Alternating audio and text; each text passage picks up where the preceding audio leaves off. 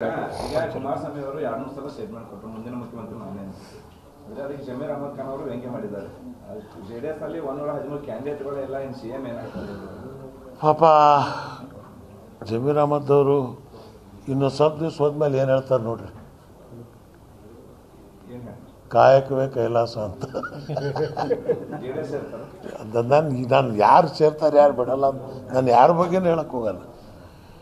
ಯಾರು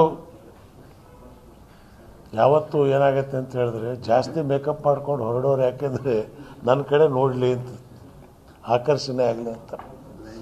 so so ಈಗ ನಾವು ಯಾರಿಗೂ ನಾನು ಮುಂಚೆನೇ ಹೇಳಿದೆ ಬನ್ನಿ ಅಂತ ಯಾರಿಗೂ ಕರಿತಾ ಇಲ್ಲ. ಬಂದವ್ರ ಬಗ್ಗೆ ಪಂಚರತ್ನ ಕಾರ್ಯಕ್ರಮ ಕುಮಾರಸ್ವಾಮಿ ನಮ್ಮ ಲೀಡ್ರು ಇದು ನಮ್ಮ ಘೋಷಣಾ ಪತ್ರ. ಇದಕ್ಕೆ ನೀವು ಅಹಮದ್ ಅವರು ಇನ್ನೊಂದು ಮಾತು ಹೇಳಿದ್ರು sir. J D S party ಅಂದ್ರೆ ಅದು ಜೋಕರ್ ಪಾರ್ಟಿ ಅಂತ ಫಸ್ಟ್ ಕಾನ್ಸ್ಟಿಟ್ಯೂನ್ಸಿ ಹುಡುಕೊಡು ಅನ್ನೆ ಅವ್ರಿಗೆ.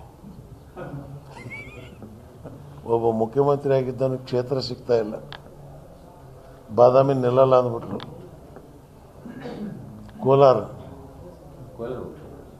ಅಲ್ಲೂ ಇಲ್ಲ. ಹೇಳ್ತದಾರ ಅಲ್ಲೂ, ಅಲ್ಲಿ ಹೋದರೆ ಸೀದಾ ಬಾದಾಮಿಗಿಂತಲೂ ಬಿಸ್ಮಿಲ್ಲಾನೇ ಆಗ್ಬಿಡತ್ತೆ.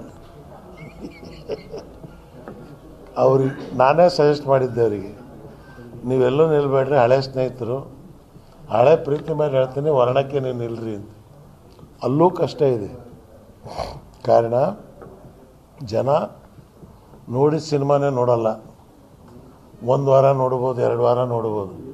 ಎಂಥ ಹೀರೋ ಇದ್ದರೂ ಮೂರನೇ ವಾರ ಸಿನಿಮಾ ಚೇಂಜ್ ಆಗಲೇಬೇಕು. ಇವೆರಡು ಸಿನಿಮಾ ನೋಡಾಗಿತ್ತು ಮಂದಿಗೆ ಮೂರನೇ cinema J D S ready ಅದ. ಉನ್ಕುದೇಕೆ ಬಾರ್ ಬಾರ್ ಇನ್ಕುದೇಕು ಏಕ್ ಬಾರ್ ಅನ್ನಕ್ಕಂಥ ವಾತಾವರಣ ಜನರ ಮನಸ್ಸಿನಲ್ಲಿ ಬಂದದೆ.